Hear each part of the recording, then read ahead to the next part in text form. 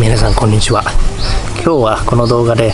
人生に行き詰まった時どうすればいいのっていう話をね自分の体験も含めて喋っていきたいなと思います。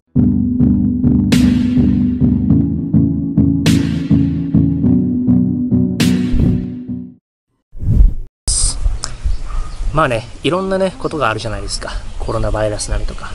首切られるとかね会社でとか。今日嫌なことがあったとか、人間関係がね、うまくいかないなとか、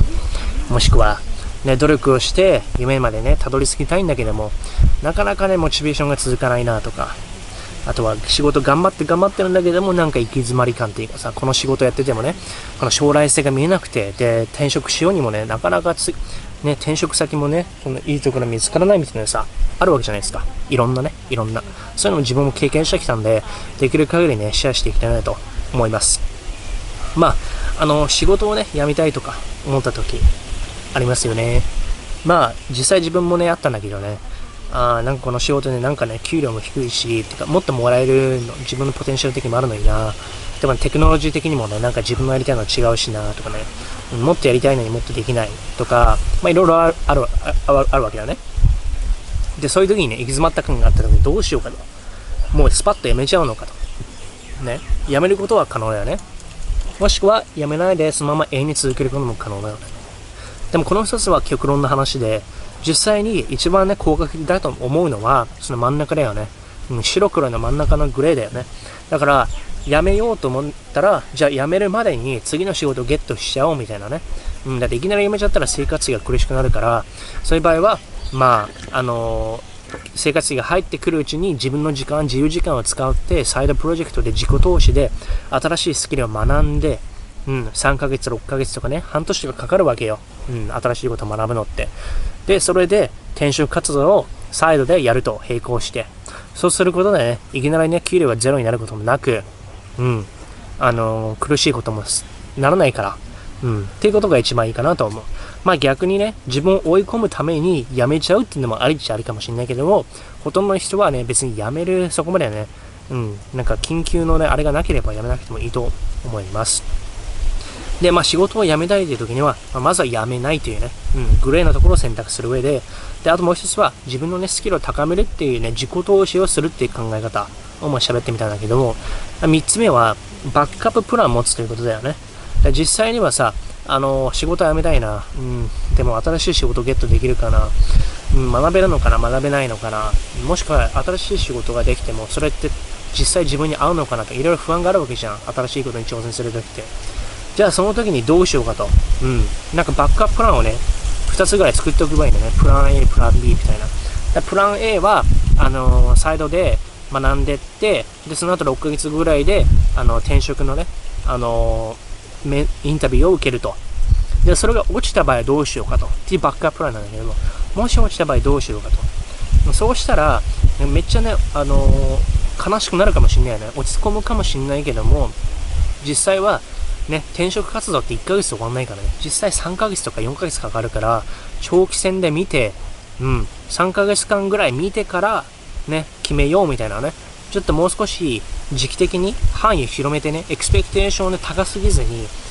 低めにやっておけばいいのかなと思う。で、それでもし落ちた場合にどうしようかと。いいバックアップなんだけども、じゃあ落ちた時どうしようかと。その時に、うん、あの、今の仕事やってて、ダメ、もうね、どうしようもなければ、あの、ボスに話してさ、なんか、うん、今このプロジェクトあんまり面白くないんだけども、なんか他にできることないですか？みたいなことをね、喋ってみるっていうのもいいしさ。もしその転職がうまくいかなかったら。でもし転職がうまくいった場合にはね、うん、それを進んでいければいいんだけども、そうやってちょっとね、二者択一みたいな感じで選択肢を広めておくことが必要かなって思う。いろいろな面で。うん。これだけやるって言って、これが失敗だけどうすんのっていうのはない、ないとさ、まずいからさ。で、あとはね、あのー、行き詰まってる時に考えるべきことっていうのは、必ずしもね、その、今やってることが、例えば自分に合わないから、うん、それだけでやめるっていうのが正解かといったらそれは答えはさ短期的な答えと長期的な目線での答えで2つあってさもしそのやってることがつまんないっていうのあるわけじゃん。例えば学校で学んでることはつまんねえみたいなさ、算数つまんねえみたいなあるじゃん。コンピューターサイエンスつまんねえみたいな。じゃあそれでやめるっていうのは超短期的な話になるけども、じゃあ短期、長期的に見てさ、今やってることって将来なんか役立つのかなって考えてだよ。でもし役立つのであれば、ま、今実際つまんなくてもだよ。もう少し続けてみるってことは、3ヶ月とか6ヶ月必要かなって俺は思う。まあなぜかというとね、あのー、人生いろいろ経験だから、あのー何でもかんでもちょっとね、かじってみるって大事なんだよね。じゃないと、食わず嫌いになってしまう。良くないし、あとは、なんか面白くないって思う時っていうのは結構ね、最初ね、わかんないからね、嫌いになるってことが多いんだよね。だから、必ずしも、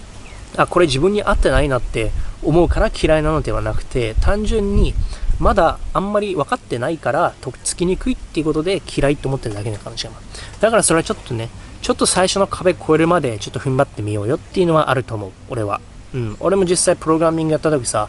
最初わけわかんなかったもんね。で、大学3年とかになってもさ、まださ、難しくてさ、これは自分に合ってねえんじゃねえかみたいなっていうふうには考えてなかったけども、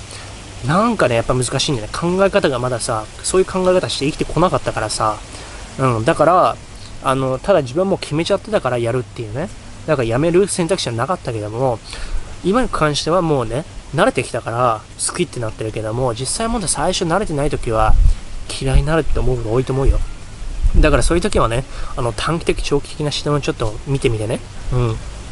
プログラミング向いてないわってすぐにやめるのはありだけども、長期的に見たらさ、何かしらね、もう少し踏ん張ってみようよ。だって長期的に見たらプログラミングとかさ、そのスキルってさ、めちゃめちゃ重宝されるわけだから、それをね、パシッてやめちゃうんじゃなくて、っていう風な考え方も俺はあると思う。じゃあ短期的にはどうするのかと。とはいえだよね。うん、嫌なこと嫌々やっても楽しくないじゃん。じゃあそこでモチベどうすんのよって話だよね。じゃあその場合どうするのかというと、まあ短期的なところはね、あの、まあ自分の場合、もうとにかくね、あの優先順位を作って、これとこれをやるだけみたいな集中してやってた。だから楽しいとかつまんないとか、そういうところをあんまり考えないようにしてたね、俺の場合は。ジムとかもそう、あの楽しむとか、最初のね、入り口が嫌な時っていうのは、もう楽しむために行くみたいな、そういう expectation を作っちゃうことが間違いだと思うのね。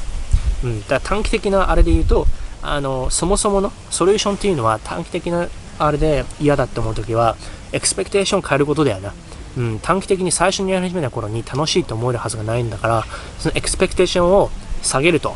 そしたら、そんなにね、うん、大して期待しなければ、うん、それなりのあれだったら別に落ち込むこともないしね。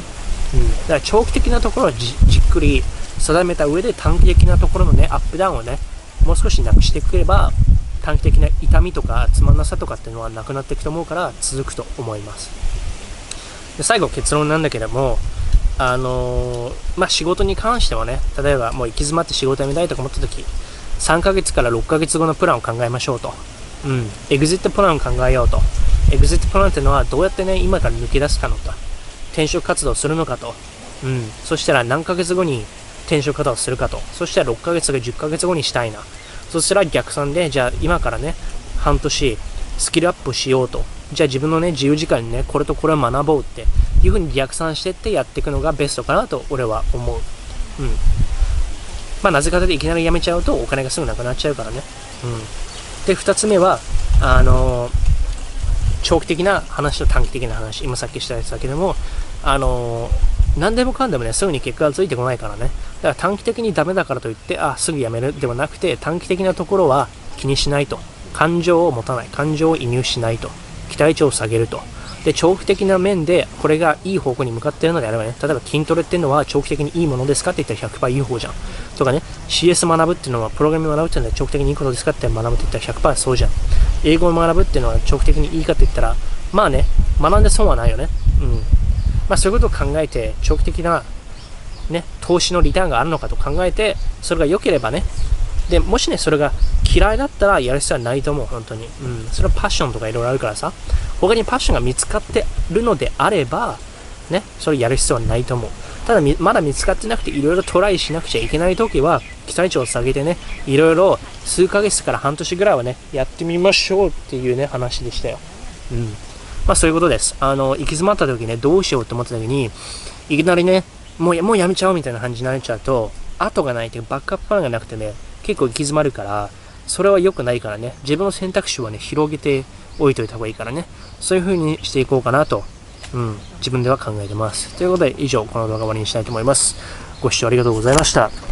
ことで、あの、ちらっとね、ビーチと島をね、見せて、ショットで、ね、みんなね、人生って楽じゃないからね、うん、競争社会だから、やっぱり自分で努力していかないと変わらないと思うしさ、うん。まあそういう意味で、あのー、どうやってね、どうやって自分を変えていくか、うん。どうやって人生変えようか。そういう時に大事なのはプランニングだね。長期的なプランニング。感情で左右されてしまう人は短期的にしか考えられないから、そうではなくて、長期的に考える。うん。で、バック、バックアッププランとオプションは、多けば多いほどいい。うん。これやってためだったら、あれやってみようみたいなね、オプション先に考えておくといいよね。うん、これ1本だけでこれが失敗したらどうしようみたいな時にさ、考えられないとまずいから。まあそういうことで終わりにしたいと思います。今日の動画役立ったりしたらね、LIKE とコメントよろしくお願いします。バイバーイ。